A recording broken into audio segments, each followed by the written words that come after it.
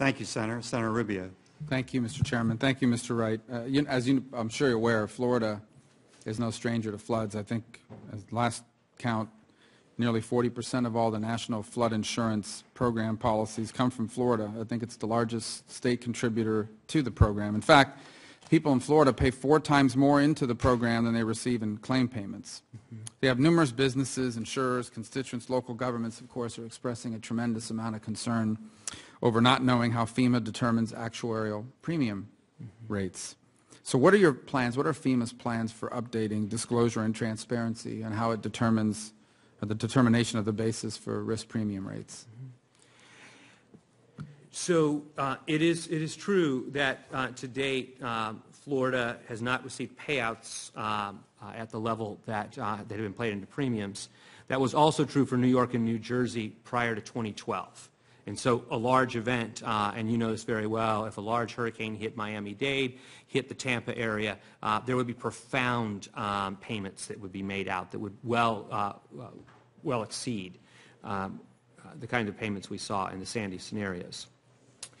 Um, I have been working um, with the recently departed uh, uh, insurance commissioner there in Florida because there's been an interest in how are we setting our rates. Uh, and some of them have asked me to disclose um, all of my loss history and the like. Um, and what I've had to do is work under the Privacy Act. I can't hand all of that data over. Uh, so I have uh, sat with a number of the folks uh, from uh, Florida and have begun to lay out a path, particularly given this reinsurance piece, by which how can I go through the modeling for reinsurance in a way by which I can provide the data they want to see. We have released um, our, um, our actuarial um, practices guide, uh, but folks want to see more inside that on a policy by policy basis. Uh, and we are working in tandem with this reinsurance effort to provide much more data about um, the policies, the payouts, and the pricing.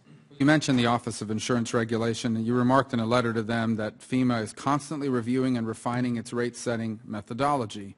So while you continue to refine this methodology, how, how are we going to guarantee people in Florida, middle-class Floridians and others who bear the brunt of these rate increases, that their rates, in fact, are not excessive, they're not inadequate or unfairly discriminatory? I mean, how do we, in essence, what, what what exactly is FEMA going to do to complete its guarantee of fair and uh, equitable rates for, for, the people of the state of Florida? Right. So if I set aside the part of my book that is the grandfathered or subsidized rates that are set, uh, there's congressionally mandated um, subsidies and discounts that I put in place. But if I look at the actuarial part of the book.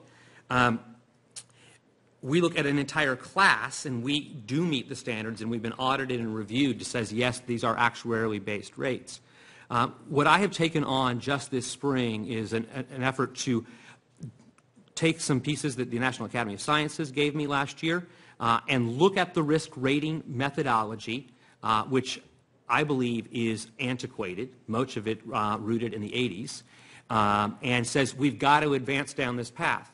Uh, over the next two years, I think that we'll be able to demonstrate recognizable progress on that, and I believe you'll see elements of transparency as part of that. Well, one more point. Uh, Pinellas County in particular, which is in the Tampa Bay region, uh, it has more NFIP policyholders than 43 states. Uh, it recently received an award for an initiative. What they did is they created an app that uses open data to better map the area's parcels with flood zones in order to save property owners potentially millions of dollars on premiums. So that, that's an example of the kind of innovative solution that localities have, been, have the ability to create. So how does FEMA plan to empower these sorts of local initiatives such as the one we saw in Pinellas County? I'm familiar with, with that one, uh, and it is based on some data that we, um, we put forward. Um, we're doing this in two ways. We're moving the technology side at a national level, uh, and we're also ensuring that our data is open source. And you're talking in that instance particularly about the uh, flood risk data so that at a local level they can use it and push it in a way forward. Uh, through our mapping efforts, uh, which Congress, uh, we appreciate, has restored us back to the higher levels uh, of funding uh, that we had not had in the preceding five years, we're making more of those investments in the technology and the data. I'm particularly interested in ways by which I can take those data and set them up so that app developers can take them and move them in the ways that best meet the needs of locals you, Mr. Chairman. I appreciate the indulgence. Uh, Mr. Robles, thank you for being here. Mr. Robles is a Floridian. He came up to Washington to uh, to testify on this important topic to the state of Florida. Let me ask you, if flood insurance premiums were as high as they are today, when you started, uh, when you first started your business, would your business have been able to start or grow the way it did? Uh, Certainly not, certainly not. Um, In, in, especially when you have a a limited amount of resources, as you well know, the home building business is very entrepreneurial in na- nature and is very cash intensive. And um, anything that's a threat such as that as to the affordability of housing certainly is a threat to the very essence of what we do. Um, So no, I would not be able to. And uh, being in the Tampa Bay region, you have a uh, unique perspective that you bring to this panel, and that's your business's work in constructing homes for the active duty service members that are there at, uh, in the different facilities. Uh, What kind of challenges have you seen these America's servicemen and women face due to these uh, premiums? It's, um, it's a very unique challenge. Uh, we do 25 to 30 percent of our best business uh, among the active and, and retired military It just happens to be MacDill Air Force Base located in, geographically in the area, which are, contributes $6 billion to the, con- the local economy. Um, However, there's a housing crisis within the Air Force Base based upon its uniqueness of being attached into an urban setting. And unfortunately, for the active military who work off a base housing allowance, um, any increase in the flood insurance rates um, severely impact their ability to find housing that within that area. And then fundamentally, it's almost a double-edged sword for them because if they are not a, a candidate for a home, for a, a home purchase, even the rental market is further exacerbated because obviously rents go up quite significantly and they pass that cost on to the active servicemen. So, and some have requirements that they be uh, within X distance of the military base based upon what their particular assignments are. So it's especially oppressive for our active military. In your testimony, you mentioned the cost of elevating a property or making a change to the, uh, to the flood map. How do inaccurate maps affect affordability?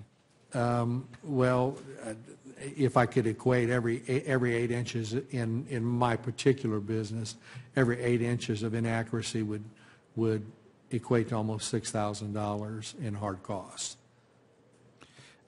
Mr. McKee, uh, one of your recommendations for reforming uh, NFIP was uh, encouraging the expansion of uh, the mar- private market options. So I'm a co-sponsor of of the Flood Insurance Market Parity and Modernization Act, which would allow private flood insurance as determined by state regulators to be accepted for meeting the mandatory flood insurance purchase requirements. Could you just describe how would a private market best be able to complement the NFIP? And to that point, how would the expansion of a private flood insurance marketplace end up benefiting both consumers and small businesses? Well, Senator, thanks, thanks for the question. I think what property owners are looking for is options.